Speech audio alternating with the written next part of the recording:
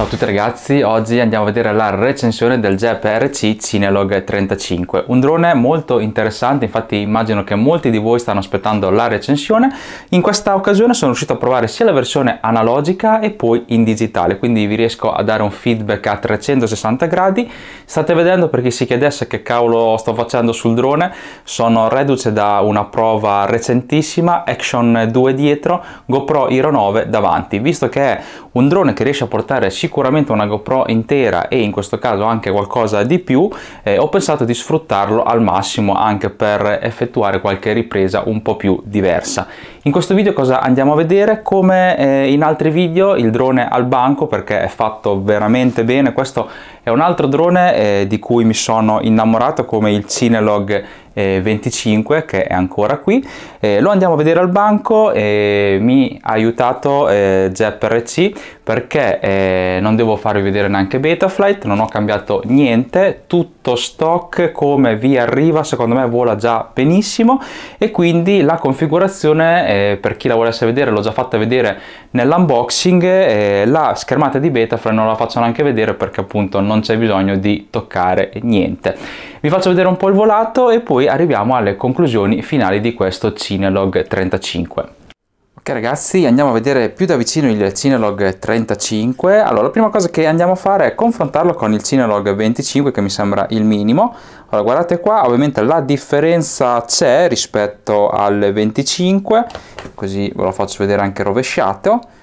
Allora, diciamo che queste sono le dimensioni, le differenze. Ovviamente per tirare su una GoPro intera bene, qualcosa dobbiamo sacrificare. Ok, lo poggiamo qui. Andiamo a vedere quanto pesa.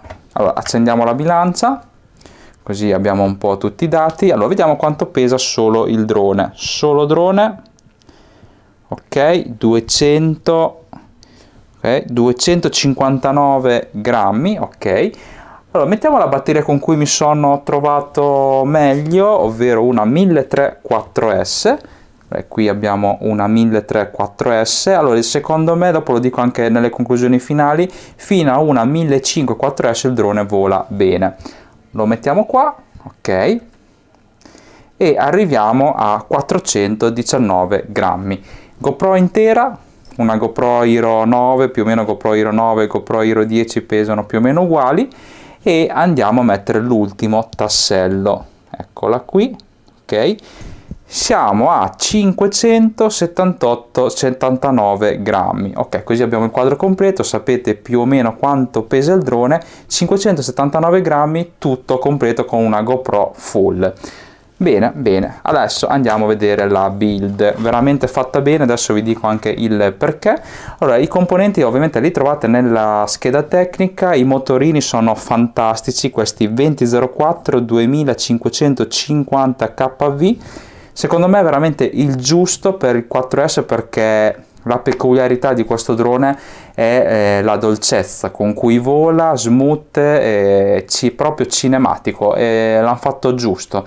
Eh, un drone così eh, non me lo aspettavo, me lo aspettavo un po' più nervosetto, invece è veramente gustosissimo e smooth, ecco la parola giusta, dovevano chiamarlo tipo Jepper C Cinelog Smooth, con una roba del genere.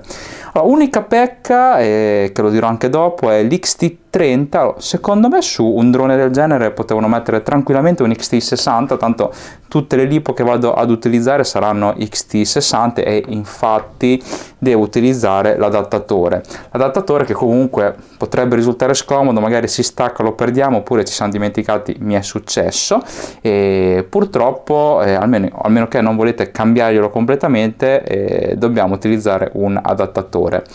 Secondo me hanno anche visto bene, eh, le eliche da tre pale ci garantiscono più autonomia, e dopo lo vediamo anche nella build totale perché con la GoPro intera e eh, le lipo che ho utilizzato con sto freddo sono riuscito a fare dai 5 minuti in su che con una GoPro intera è veramente tanta tanta roba Allora, io ho convertito la versione analogica in digitale, ma entrambe le versioni vengono date con un'antenna più lunga di questa. Allora, io ho provato sia la versione analogica e in digitale.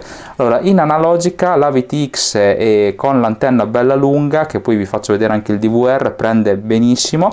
Antenna lunga sicuramente consigliata, visto che avremo la GoPro intera davanti e quant'altro col digitale che comunque soffre un po' meno eh, questa cosa di avere eh, una schermatura in genere della GoPro più la lipo diciamo che riesco a fare comunque distanze buone ho deciso purtroppo in casa avevo solo un'antenna corta poi magari più avanti la cambiamo di mettere questa qui che comunque riusciamo a prendere sicuramente bene.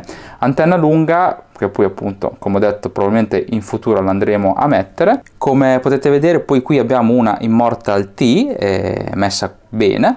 E l'altra cosa che volevo segnalarvi visto che l'ho dovuto smontare ecco veramente intelligente JPRC noi in pratica smontando questa placchettina accediamo a tutti i componenti. Perché? Perché questi duct che sono eh, 2 a 2 sono sì resistenti però una volta che noi abbiamo smontato questa placchettina ci basterà togliere uno due duct e poi o saldare o togliere i pin o muovere quello che dobbiamo muovere possiamo eh, lavorare veramente bene eh, semplicemente svitando quattro viti togliendo i duct e abbiamo veramente il drone eh, tutto eh, sotto controllo Ok, altre cose da segnalarvi, eh, ultimamente, veramente in realtà sempre, vi consiglio sempre di avvitare bene le viti dei motori perché non sempre sono avvitate bene, potrebbe anche capitarvi che vi si svitano in volo, io quindi una avvitata col freno a filetto medio gliel'ho data. Molto comoda anche il supporto qui della GoPro con questi gommini che permettono di molleggiare e quindi migliorare la eventuale stabilizzazione eh, in post produzione qui abbiamo messo una Nebula Pro che poi è la stessa cam che ci viene data con la versione digitale. Nella versione analogica ci viene data una VTX da 600 mW della JEP RC e una Rattle 2 che si vede benissimo. E niente questa è la build che appunto complimenti a JEP RC perché è veramente spaziale l'abbiamo vista nell'unboxing cioè fa proprio come dire la sua porca sfigura detto questo godiamoci il volato dove ve lo commento qualche curiosità eh, sia in analogico che in digitale per poi arrivare alle conclusioni finali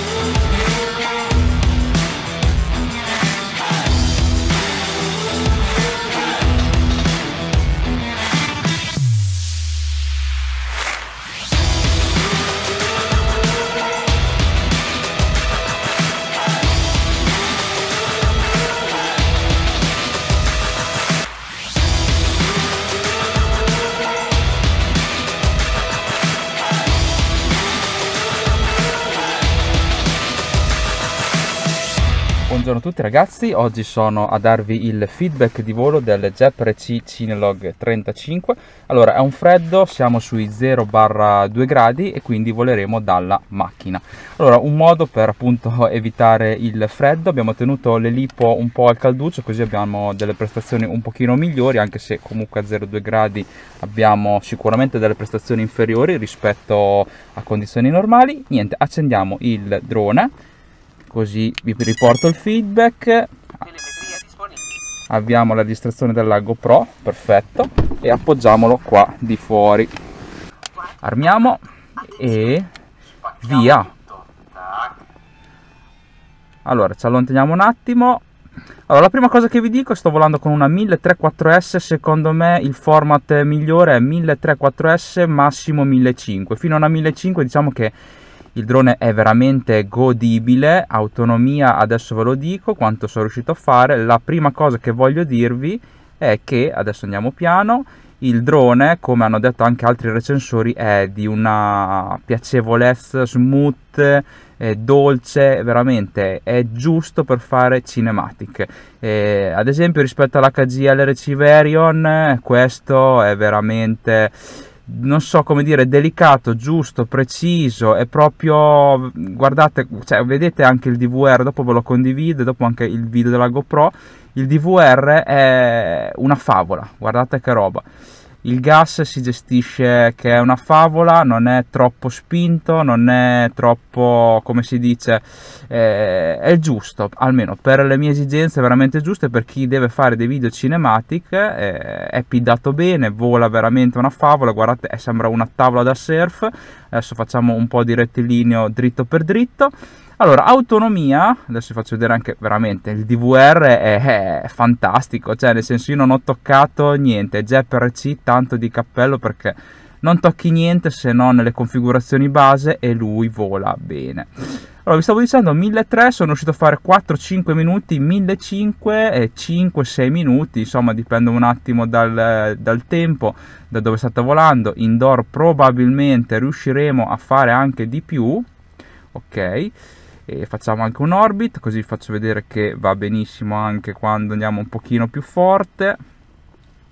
Allora ho seguito anche i go kart quindi diciamo che è veramente una bomba. Allora se facciamo un po' di freestyle ho visto che eh, avendo messo dei motorini meno potenti 2550 kV rispetto magari ai 3006 che ha scelto di mettere HGLRC se facciamo un po' di freestyle però si sente che comunque eh, è stato addolcito. Quindi non è per fare freestyle almeno la versione 4S eh, probabilmente forse la 6S è un po' più spinta però la versione 4S secondo me non è per fare freestyle perché quando dobbiamo riprendere il drone eh, dobbiamo dare un po' più di gas per fare ad esempio un piccolo dive ovviamente possiamo farlo sapendo che il gas, ad esempio per il recupero, dovrà essere eh, sicuramente più alto rispetto ad altri droni. Allora, facciamo un po' di controllo, eh, così vediamo anche che possiamo muoverci anche in spazi stretti, poi dopo lo proviamo anche nell'interno, eh, però veramente eh, complimenti a Jep RC perché senza dover fare niente il drone è di una goduria assurda.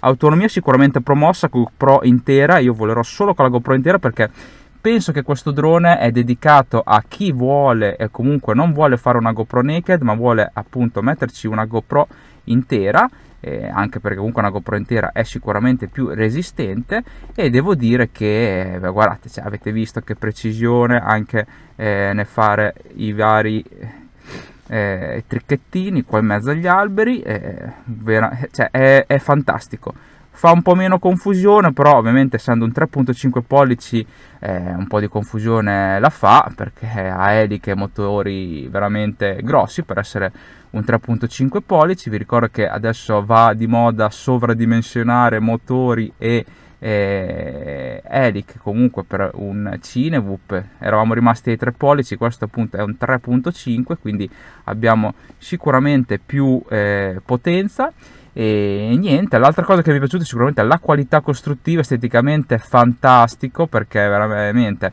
è fatto bene, poi ho avuto anche la possibilità di smontarlo, molto facile da smontare, metterci mano perché basterà svitare quattro viti e riusciamo ad accedere a tutto. I duct, i parelli che si tolgono, che è una bellezza, però vedete che anche quando faccio delle piccole cadute non abbiamo prop wash, guardate, tac, cado proprio dritto per dritto e non c'è prop wash.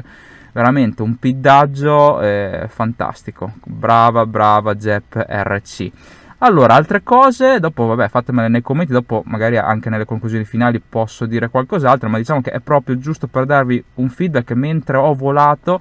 Veramente ne ho fatte diverse di lipo eh, 1300 1500 1800 però direi che fino a 1300 1500 è perfetto 1800 comunque se abbiamo bisogno un po' più di autonomia anche se non è che aumenta di tantissimo eh, possiamo comunque metterglielo perché lui eh, riesce tranquillamente a portare anche una 1008 niente atterriamo e spero che questo voletto eh, vi sia piaciuto e noi ci vediamo alle conclusioni finali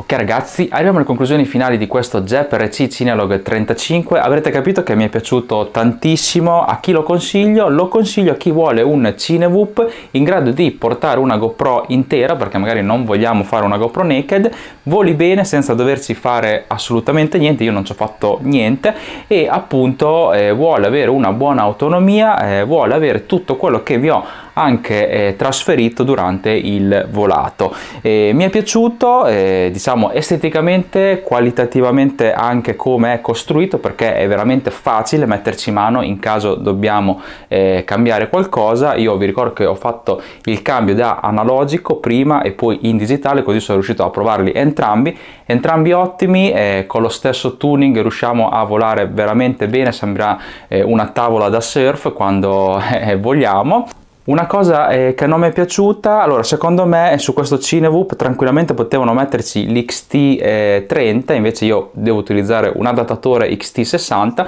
perché eh, l'elipo con cui mi sono trovato meglio eh, è stato una 1300 4S e 1500 4S. Probabilmente sulla versione 6S eh, dovrebbe bastare una 1000-1100 6S, più o meno l'equivalente di una 1300-1500 eh, 4S e secondo me anche in quel caso un XT60 era eh, più adatto rispetto a un XT30. Dettagli che comunque sono bypassabili con un adattatore come ho fatto io XT30, XT60 e riusciamo a utilizzare le nostre LiPo. La struttura dei duct mi è piaciuta molto, allora non sono andato a sbattere, non ho preso grosse botte, ma devo dire che probabilmente sono molto resistenti visto che sono eh, realizzati a coppia e al tatto risultano essere molto resistenti. Altra cosa, autonomia veramente impressionato, GoPro intera, 1300, sono riuscito a fare 5 minuti e 30 con eh, 2 gradi, con una 1500 sono riuscito ad oltrepassare i 6 minuti, ovviamente andando ad una ad andatura molto eh, soft, eh, però con una GoPro intera sono ottimi eh, tempi.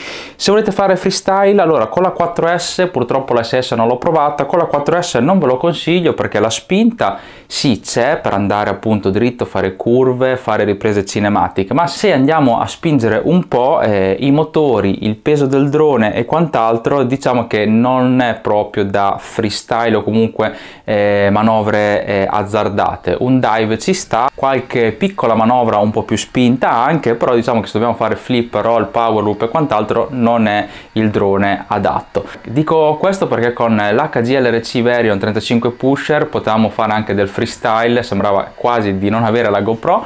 Allora, non che con questo, perché trasmettere il feedback è veramente difficile, non che con questo facciamo fatica a trasportare la GoPro intera, infatti avete visto che abbiamo fatto 5 minuti e 30 con sto freddo e probabilmente quest'estate riusciremo a fare anche di però eh, essendo più smooth, più dolce, veramente il feedback è fantastico, infatti anche per questa cosa lo preferisco di più perché ci permette di fare delle riprese veramente eh, belle, cinematiche, lente, insomma possiamo fare tutto quello che vogliamo e questo drone eh, arriva già pronto al volo. Spero che questa recensione vi sia utile per chi appunto aveva adocchiato questo drone e noi ci vediamo col prossimo video. Ciao! Ovviamente andando ad... ad ovviamente andando ad... ad ovviamente andando eh, a